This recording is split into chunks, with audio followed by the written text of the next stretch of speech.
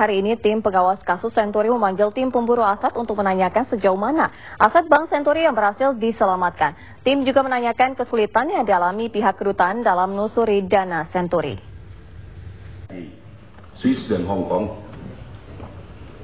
Tapi Tim pengawas kasus Bank Senturi hari ini memanggil Kapolri, Menteri Hukum dan HAM, Menteri Keuangan, Jaksa Agung, dan beberapa duta besar. Pemanggilan mereka terkait dengan hasil penelusuran aset Bank Senturi, khususnya yang di luar negeri.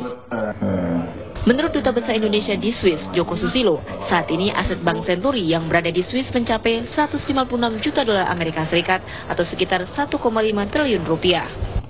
Yang pertama memang bahwa eh, dana yang terdapat di eh, Bank Dresdner atau yang sekarang bernama Bank LGT di Juri itu sekarang tinggal 156 juta dari aset tersebut yang berjumlah semula 220 juta dolar.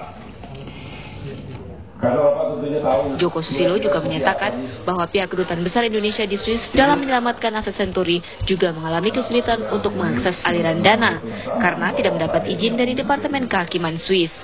Selain itu, belum ditandatanganinya mutual legal assistance antara pihak Indonesia dengan Swiss menjadikan dana Senturi tidak dapat dibekukan. Dari Jakarta, tim TV One mengabarkan.